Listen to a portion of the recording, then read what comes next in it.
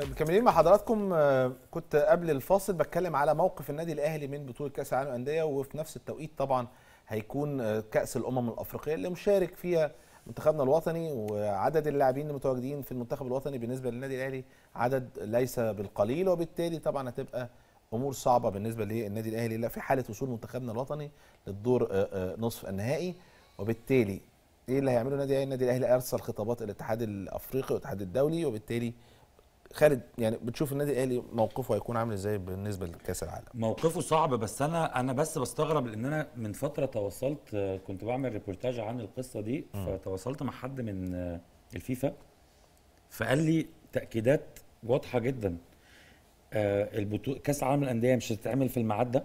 اللي هو ال- اللي تم ساعتها الإعلان عنه بشكل مبدئي كده إن إحنا بنجس نبض بالونة اختبار. فقال لك لا إحنا كأس العالم أكيد مش هتتعمل في الميعاد ده.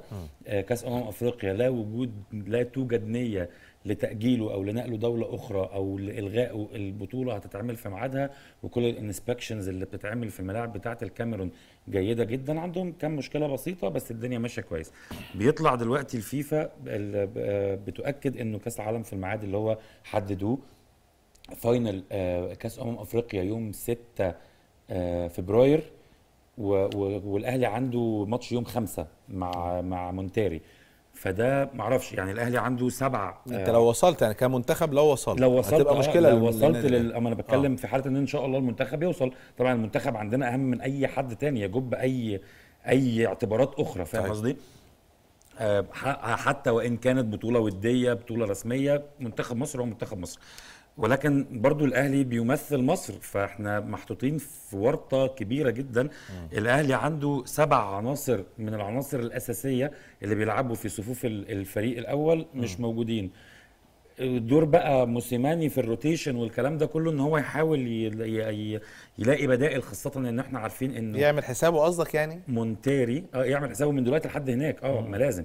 مونتيري هو آه، صاحب أكبر نتيجة آه، هزيمة يعني الأهلي أكبر نتيجة هزيمة للأهلي كانت على حساب مونتيري 5 1 في 2013 ولا 2012 12 2012 أكبر هزيمة خسرها الأهلي في كأس العالم كانت من مونتيري فاللعيبة هتخش بالدوافع دي إن إحنا عايزين نرد. وفي نفس الوقت آه، سكتنا ك ك كممثل لمصر يعني كالأهلي أنا بتكلم دلوقتي ب- ب- بلسان جمهور الأهلي. سكتنا سالكه لل final لأنه الناحيه الثانية الهلال وقع قدام تشيلسي وقع قدام فالناحيه الثانية في عك كتير. بالميراس في المرحلة بالميراس اللي انت بعد لسه كسبان ومن صحيح. كام شهر فاهم قصدي؟ لو لو عديت مونتيري تقدر تلعب بالميراس لو عناصرك كلها كانت موجودة زي ما كانت موجودة ساعتها. دلوقتي الأهلي في موقف لا يحسد عليه. دور من دور مش مونتيري لا دور مدرب اسمه موسيماني. موسيماني. دور موسيماني من دلوقتي لحد شهر فبراير لازم الروتيشن يشتغل عشان يجي يجد البدائل. لا يعني لو لازم. الأمور مشيت بالشكل ده لأنها في